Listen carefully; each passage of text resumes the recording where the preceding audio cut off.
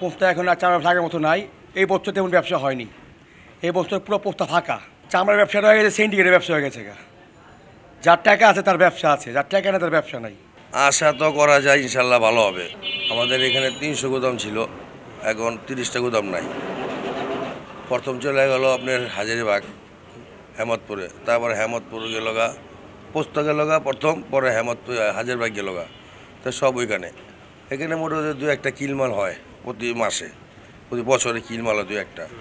আর বছরে একবার হ্যাঁ ধরেন আট দশটা বিশটা মতন কারখানা হ্যাঁ, খালি থাকে ওটার ভিতরে চামড়া লাগায়।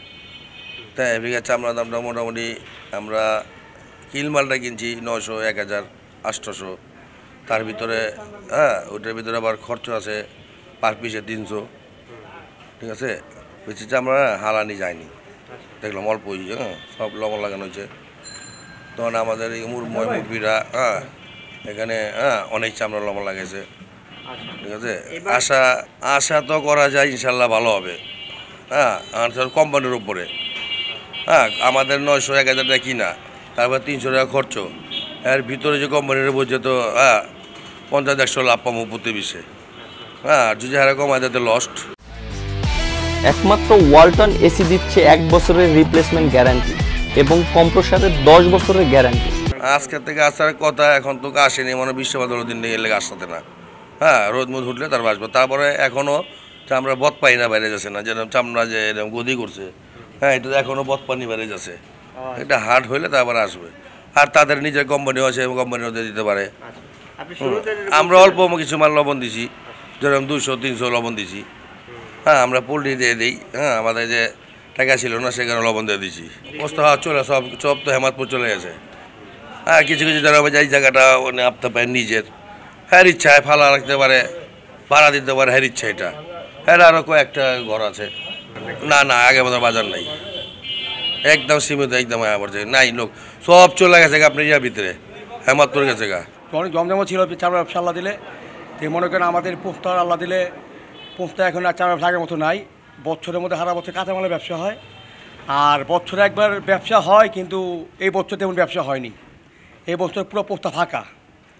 মানে হেমাদপুর হওয়ার পর থেকে আমাদের পোস্তার কোনো মূল্য নেই আর কি।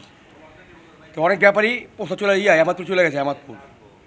তো আপনারা দোয়া করবেন, ইনশাআল্লাহ যেভাবে পোস্তা যেভাবে আগের মতো পোস্তা হয়, আমরা এই দোয়া করি। কিন্তু অনেক মানুষের মনে অনেক কিছু আশা ছিল পোস্তার মধ্যে, সব আশা মনে মনে করে দুরাশা হয়ে গেছে গা। তো এখন আমরা বলতে চাই ভাই হিমাদপুরে সব মাল চলে গেছে, বুঝছেন? আর আমাদের পোস্তার মধ্যে মাল নাই অলরেডি পোস্তার মধ্যে বেশি মাল আসেনি কিন্তু এবার। আর আমাদের যে চামড়ার মেন কমিটি ওনারা দাম রেট দিচ্ছে আপনার গিয়া এক হাজার নশো থেকে এক হাজার। তা আমরা সব এখানে কিছু মাল মাল কিনছি। এখন রেট দিচ্ছে আমরা আমাদের চামড়া পিসে, প্রতি পিসে লাভ দিয়ে পঞ্চাশ টাকা। এখন আমরা মাল কিনছি, মাল কেনার পর বাকিটা আল্লাহর ইচ্ছা।